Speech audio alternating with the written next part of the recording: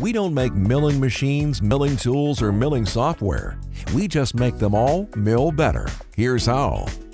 Unlike other machining operations, where the cutting edge never leaves the workpiece, milling has hundreds of individual tooth impacts per second, generating forces that cause deflection and vibrations.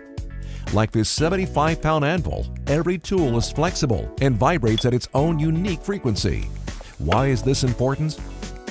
The tool point deflects and rebounds at a frequency determined by the flexibility of the tool holder and spindle.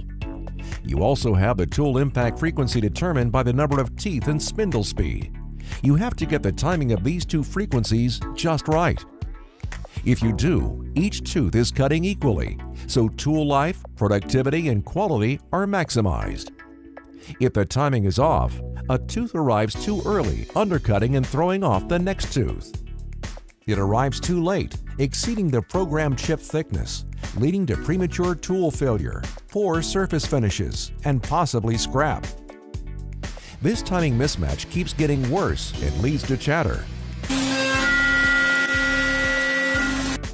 Without knowing the tool's frequency, the common response to chatter is to slow down the spindle speed, vastly underutilizing the capabilities of your machine and tooling. As we said earlier, every different tool, tool holder, machine combination vibrates at its own unique frequency. The challenge is that there are billions of potential combinations.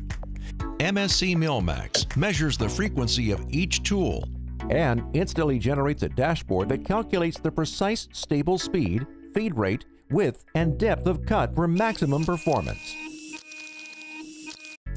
It also determines the best speeds for surface finish and accuracy. You will always know where to run. This patented and proven technology is in use at the world's largest manufacturers.